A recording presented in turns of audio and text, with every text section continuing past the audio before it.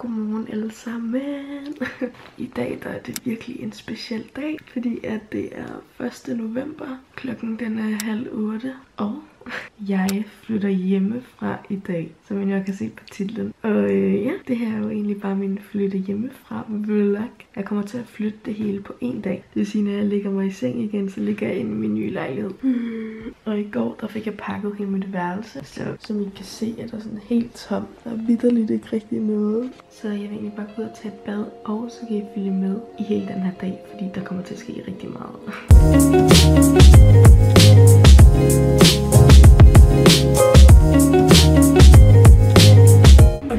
Været i bad, og som I nok kan se, har jeg fået mega røde øjne. Kan I se det? Så min mor sagde, at jeg skal tage det her saltvand og skylle i dem. Ej, ej, ej. Det kom der i hvert fald i mit øje. Ej, hvad er det irriterende. Det er fordi, jeg er gået og sådan presset på mit øje. Fordi jeg ikke har kunne klø det rigtigt. Jeg ligner jo en eller anden morder. I hvert fald, jeg er bare i gang øh, med at lægge lidt makeup, Because I'm gonna look slay on my big day. Derhjemme. Så jeg håber, at mine røde øjne går væk.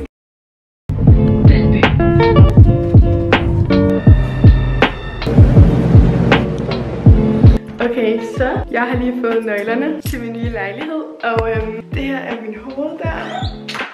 Og så synes jeg, at vi skal gå ind. Ja, jeg vil bare lige øh, vise en empty apartments tour, fordi der er ikke rigtig nogen møbler endnu, men det kommer jo i dag. Så hvis vi starter her ved hoveddøren, som vi lige så. Hvis man går herind til venstre for mig, så kommer man ind på sådan et stort værelse her, som kommer til at være sådan mit filmeværelse, aka mine roomies værelse, når jeg får sådan en. Og hvis man går til højre på hoveddøren, så er der sådan en lang gang her, hvor at der er toilet for enden. Så lige ud for hoveddøren, så har vi min entré, og her kan man hænge sine jakker. Hvis vi så bevæger os herind, så kommer vi ind i min stue, som er den her store flotte. Dem, der boede her før, de har, deres, eller jeg sådan har købt deres sofa af dem, så det er derfor, der allerede står en sofa. Så øh, herinde har vi mit værelse, som også bare er det her store, flotte værelse. Jeg har også et walk-in closet, som er her. Så her kommer jeg til at have sådan en reol, og så herinde, der kommer jeg til at have alt mit tøj.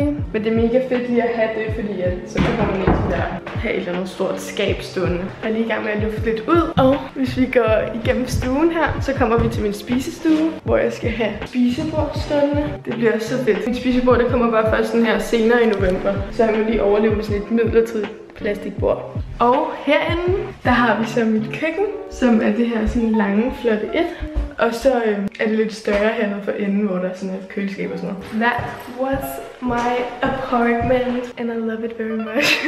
Men planen for i dag, det er egentlig, at min far, han har bestilt sådan en kassevogn, hvor at han flytter alle tingene. Så han er ligesom min flyttemand, og det synes jeg er meget nice. Han er i hvert fald på vej herhen sammen med min lillebror, og min mor er også på vej herhen på cykel. Og så har jeg inviteret en masse af mine veninder, fordi så kan de hjælpe med at bære op og sådan noget. Det bliver bare en virkelig hyggelig dag. Så kommer min far. No. Ej, det nuttet. Tak fordi du hjælper mig med at flytte. okay, det er fuld fitness det her. Jeg har lige båret de her op. Spisestolene, og de er stadig i gang med at tage frem og tilbage. Hej. Hej.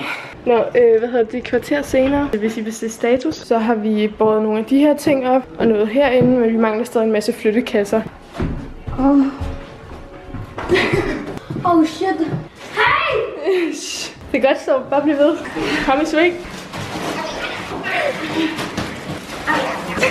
Så, Lav er kommet. Jeg slider så meget. Okay, vi skal ned og hente kasser. Ja. I hvert fald, min far han er smuttet med bilen nu, og øh, tre af mine veninder er kommet. Stasha, Lav og Myrna. Og øh, de hjælper lige med at pakke, eller sådan bære de sine sidste op. Vi har taget ud en masse flyttekasser her. Det er fitness. Du tager en finger til i dag. Nej. Nå, vi filmer simpelthen. Myrna.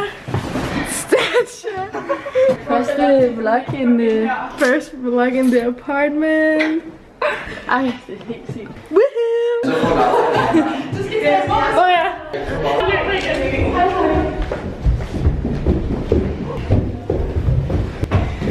Men ikke for sjov. Okay, ja. Altså, det er sådan, at det, når man er veninder med en YouTuber. Ja.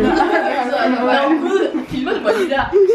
Og min mor har været så sød at købe gifler til os. Og øhm, som I måske kan se, så solen skinner.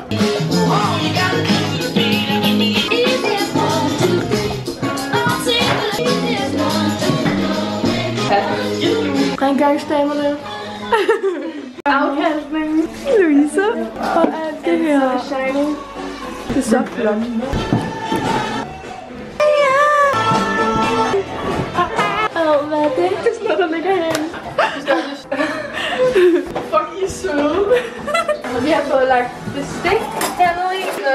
Har købt. Altså, der har virkelig været rabat på alt, jeg har købt, har der været rabat. Ej, hvor godt. sparet så mange penge. Kom, det har aldrig været en grund. Underkoden 19 skal du er ikke gået med. Har vi set øh, gården derude? Nej. De har sådan en? Det er altså ret nuttet her. Hendes bag, eller hendes udsigt fra køkkenet. Så hedder sådan noget. Fuck hedder det. Udsigt fra køkkenet. Den der kirke. Det er meget sødt. Vlogger-processen. Pigerne er i gang med at lave mit walk-in closet. Maja er også kommet. Ej, ej, Lisa. Det fordi, jeg faktisk sagt. Og min mor er i gang med at færdiggøre sengen. Der er gået ret lang tid, men øh, altså øh, vi er, eller mine veninder har været i gang med at lave mit tøj. Og det er ordentligt nuttet, det de har lavet. De har bare stået og hængt det op. Så er min seng blevet bygget. Men det er også bare sjovt at se sådan der lejligheden, den er ret skæv. Det ligner, at sengen står skæv, når man kigger hernede. Men det gør den faktisk ikke. Det er bare væggen, der er skæv. Men øh, du ligner en dronning. Mm. Okay, det er lidt whack det der, men jeg skal få gjort et eller andet ved det. Okay. I hvert fald, så øhm, min mor, min søde mor, hun er cyklet ned for at hente Frankies pizzaer, som vi har bestilt, fordi vi er mega sultne. Altså, du ved, jeg fik mad klokken øh, 7, og klokken er 15. Det er sådan lidt fly- indflytningshygge, når man spiser pizzaer. Mm. mm, og du ved godt, det der, det er sådan noget, som man kan dyppe sine skorper i. Nej, hvor smart. Jo, det smager så godt. Åh, det er seriøst lige, hvad jeg har lyst til det her. Nu begynder det at blive mørkt. Vi har lagt uh, sådan stearinlys i vinduerne. When you don't want to get filmed. Kommer du ikke? Så godt ud. Du ved ikke noget. Grundet covid-19.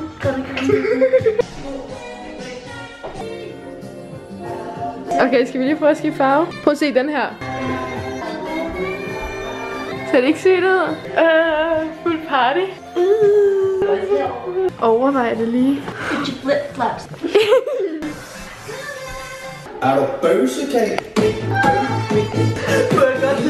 Klokken den er kun 10 minutter i 8. Altså den er seriøst 19.50, jeg føler den er 22. Og øhm, grundet covid-19 sover Sara hos mig. Ej. Hvad hedder det? Men vi er på vej ned med en masse sådan pap og sådan noget der. Og så skal vi også i Netto, fordi jeg har legit intet mad i mit køleskab. Så øhm, vi går lige i Netto og ned med noget pap. Grundet covid-19. Min lokale Netto. Nu skal jeg ud og handle ind første gang. Åh, oh, det blæser. Åh, oh, åh, oh, åh. Ej, ser det nice ud. Nu skal jeg have min første meal. And it's going to be some sugar puffs. Fordi at jeg har købt sugar puffs. Ej, shit. Jeg kan vidderligt ikke komme mig over, hvor flot det her er. I'm going to remove my makeup. And jeg kommer til at bruge den her, som jeg faktisk har fået af La Roche-Posay. Og det er sådan en micellar water. Ej, det er første gang, jeg sådan... Her kommer jeg godt nok til at stå meget, når jeg skal fjerne makeup og sådan noget. Også bare det der med, at jeg har ikke været i bad i mit bad endnu. Jeg skal virkelig også have sådan gjort et eller andet ved det her skab, og lige få ryddet lidt ud i det og sådan noget, fordi lige nu så står der bare 100 ting inde i det, uden nogen som helst organisation. Men øh, i hvert fald, jeg kommer også til at vlogge sådan de her dage, fordi at, øh, jeg føler bare, der sker rigtig meget. Sådan, jeg vil rigtig gerne sådan, ja, at lave nogle flere flyttevlogs, selvom det her var sådan den primære flyttevlog, fordi det var ligesom i dag, at jeg sådan flyttede. Og jeg håber virkelig meget, at I har kunne lide dagen, og jeg har kunne følge med. Det har været lidt svært sådan at filme det hele, fordi at, ved, altså sådan, der skete fucking meget, sådan, og det var lidt svært sådan at filme sådan alt, men jeg håber, at jeg sådan får sådan... jeg ved ikke, hvor dine strømper er. Jeg har ikke taget nogen strømper. Jeg kan ikke se mig.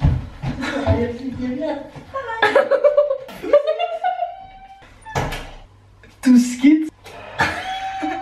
It has been a very wild day today. Så i morgen så skal jeg stå op og skal jeg spise morgenmad og sådan noget der. Også fordi jeg plejede altid, min mor plejede altid at vække mig, og så lavede hun mormor til mig og sådan noget. Og nu sker det bare ikke længere. Og inden det bliver alt for efterspørg, jeg skal selvfølgelig nok lave en apartment-tur. Jeg skal bare lige sådan komme helt på plads. Ej, mit øje er stadig rødt. Så.